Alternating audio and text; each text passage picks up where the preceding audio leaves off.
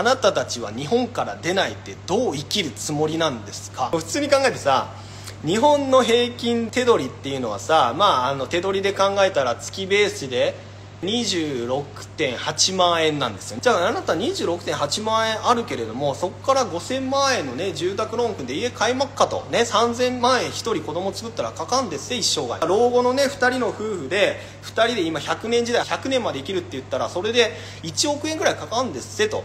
これであなたは今後この国にいて生きれるんですか？足し算引き算できますかっていう質問です。できますか？普通に。26.8万円でどうやってあなたたち生きるつもりなの？ここの4000人の99%そうなんじゃないか。だって過去30年振り返ってさ、まあ、失われた日本の30年とか言ってるわけちゃうだよ。失われた40年になるし50年になるし60年なんね日本は。だって普通に考えてガソリン2倍になりましたこの30年でね。消費税も3倍以上になりました。もともとね3%だったんだから。で社会保障も今3倍ぐらいになりましたね。40年見たら5倍になってますよ社会保障料。アメリカ人の給料は約2倍でタイ人の給料は3.3倍になってるんですよ。じゃあ日本人の給料どうなってますかって言ったら0パー何の変わってもない。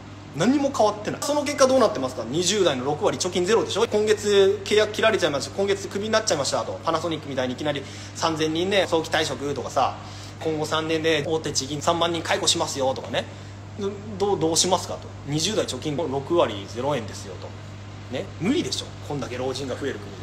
もう一回聞きますけどもやはり日本から出た方がいいんですか？ちゃいますねこの日本にあなたたちはどうやって生きる希望を持ってるんですかっていう俺は本当に逆に聞いてあげたいです皆さんに。